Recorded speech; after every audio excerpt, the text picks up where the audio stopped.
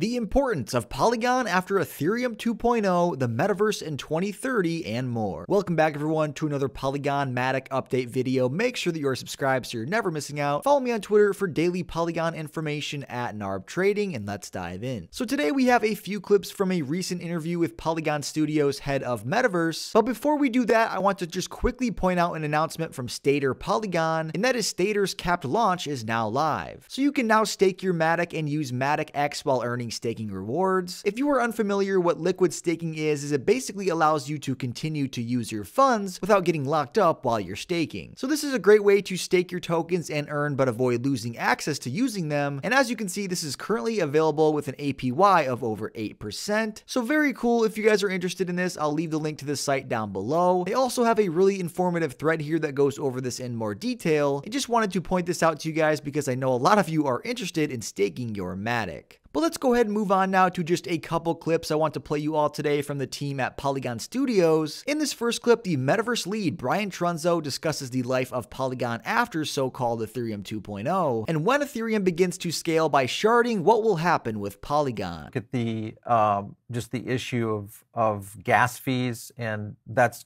kind of one of, I guess, one of the big issues that we continue to see as a little bit of a barricade, at least in terms of expansion in blockchain, especially around NFTs. You guys have obviously solved a lot of that for the blockchain. That being the initiative, is that obviously going to be a continued uh, role of that? Where do you think that plays out as we start to see ETH2 start to roll out and we see the merge occur, which I think is still on in track for this summer? How will Polygon play in that new sandbox? Yeah, I think Polygon just becomes more and more important over time, right? I think the uh, name of the game is scaling the Ethereum virtual machine. I think that is the absolute name of the game that we are playing. Um, mm-hmm. You know, there is a uh, theory in um, you know cryptography in decentralized applications and protocols uh, of sort of Zooko's triangle. There are three points on the triangle. You can only optimize yep. for two: decentral, decentralization, speed, and security. Ethereum famously, uh, you know, optimizes for decentralization uh, and security speed will never be sort of a priority for Ethereum, even when it reaches its Super Saiyan final form with sharding and everything that will come years down the line. So that will only make layer twos uh, and those scaling Ethereum like Polygon even more important over time. And I think an analog here that's worth mentioning is how important the UX and UI will be in bringing mm-hmm. about mainstream adoption, right? We need to yep. abstract away some of these crazy pain points and frictions within crypto that a lot of us don't see people who are Web3 native, right? We don't see how um, difficult it is to actually engage with Web3. You know, you brought up the concept of gas. Like, even just having to explain that blockchains are in the business of selling block space and you have to pay to be within that block and that is that is what gas is right these concepts have to be abstracted away uh, the way that TCP/IP is a concept mm-hmm. that one does not need to know in order to send an email,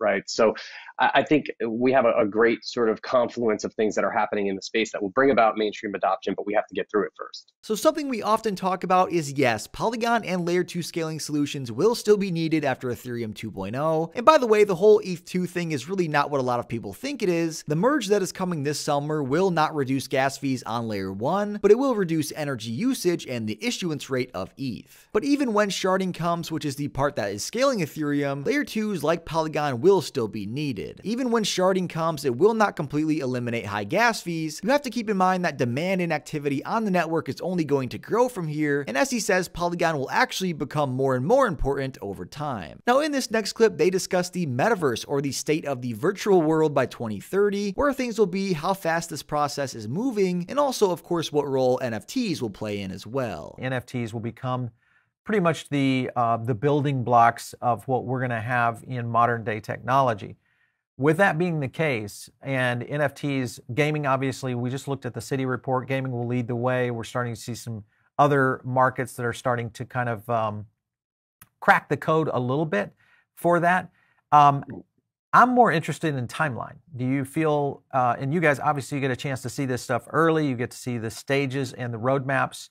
Do you think this is something that will uh, meet some of the expectations that are put out by the market by 2030? Yeah, I think that 2030 date is a, a really great date to circle on our calendars and, and revisit, uh, you know, eight years from now. It's always hard to, to pick a date, right? But it, eh, something that we like to say in Web3 is that Web3 is speed running um, all that came before it, right? So in DeFi, right. we're speed we're speed running Western finance, right? Yeah. In in uh, gaming, we're speed running Web two, and you know if you look at um, the proliferation of the internet from Web one to Web two, and you kind of track through the mid 90s into the early aughts, really where the explosion started to happen, yep. went through uh, a bear cycle and then really exploded. Uh, you know, you're really looking at a 15 to 20 year uh, ramp up for Web mm-hmm. one and Web two.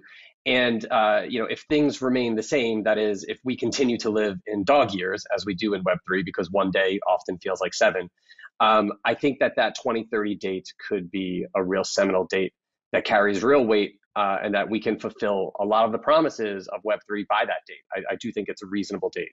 So just a few short clips there, folks, that I wanted to play for you today. I'm always fascinated to hear from the teams that are actually involved with this kind of stuff to give their takes on timelines and things like that. But I certainly do think that things will be much different in 2030 than it is right now. I'm sure there will be some sort of virtual world that we can all participate in and earn while playing games as well. And the next eight years are definitely going to be fun to watch play out. But those folks were the updates that I wanted to go over for today. I thank you all very much for watching. Make sure that you're subscribed so you're never missing out. Leave a like, it really helps me out. I'll see you all next time.